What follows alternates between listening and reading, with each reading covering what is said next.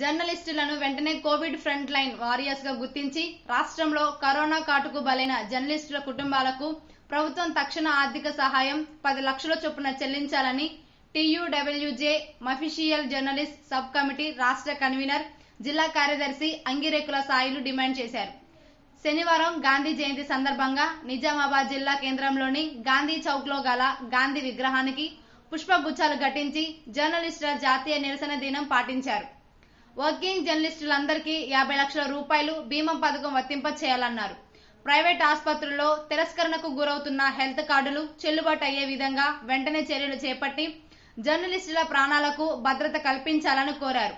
మీడియాకు సంబంధించి కొత్త లేబర్ కోడ్ అమల్లోకి వచ్చేంత వరకు వర్కింగ్ జర్నలిస్ట్ చట్టములు కొనసాగించాలని విజ్ఞప్తి చేశారు.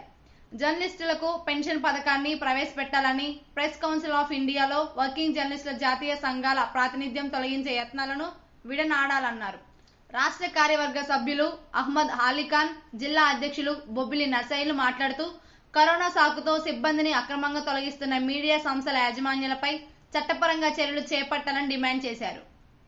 కేంద్ర రాష్ట్ర ప్రభుత్వాలు అవలంబిస్తున్న తీరుకు నిరసనగా ఇండియన్ జర్నలిస్ట్ యూనియన్ అదేవిధంగా రాష్ట్ర తెలంగాణ వర్కింగ్ జర్నలిస్టుల సంఘం టీయూడబ్ల్యూజే ఐజేయు పక్షాన ఈరోజు జాతీయ నిరసన దినోత్సవం. మేము గాంధీ జయంతి సందర్భంగా దేశవ్యాప్తంగా ఉద్యమాన్ని ఈరోజు తలపెట్టడం జరిగింది. అయితే ఇండియన్ జర్నలిస్ట్ యూనియన్ ఇచ్చిన పిలుపులో భాగంగా ఈరోజు యావత్ దేశవ్యాప్తంగా జర్నలిస్టులంతా ఆయా రాష్ట్రాలలో జిల్లాలలో ప్రతి మండల కేంద్రాలలో కూడా ఈరోజు జాతీయ నిరసన దినోత్సవం మేము తలపెట్టాం. అయ్యా రాష్ట్ర కేంద్ర ప్రభుత్వాలు ఏదైతే జర్నలిస్టులకు సమస్యల విషయంలో వాళ్ళు నిర్లక్ష్యాన్ని ప్రదర్శిస్తున్నారో.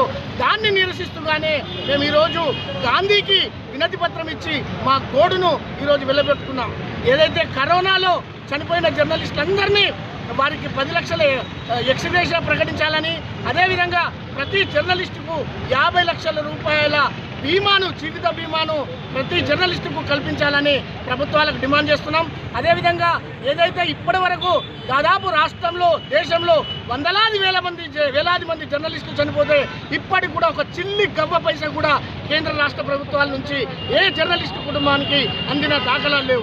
దాన్ని నిరసిస్తున్నాం. వెంటనే ప్రకటించాలా? ఏదైతే జర్నలిస్టులకు ప్రకటించిన ఆ డబ్బులను వెంటనే వారి కుటుంబాలకు ఇవ్వాలి. అదేవిధంగా ఫ్రంట్ లైన్ వారియర్స్గా గుర్తించాలి. అదేవిధంగా ఇళ్ళ స్థలాలు. ప్రతి జర్నలిస్టుకు ఇల్లు ఇళ్ళ స్థలాలు తర్వాత టూ బిహెచ్కే డబల్ బెడ్రూమ్ ఇల్లు ఇవ్వాలని చెప్పేసి డిమాండ్ చేస్తున్నాం. ఇంకా ప్రధానంగా ఏదైతే జర్నలిస్టులకు ఎదురవుతున్న ప్రధాన ఏ దాడుల సంఘటనల విషయంలో కానీ ఇతర అరాచకాల మీద కూడా కేంద్ర రాష్ట్ర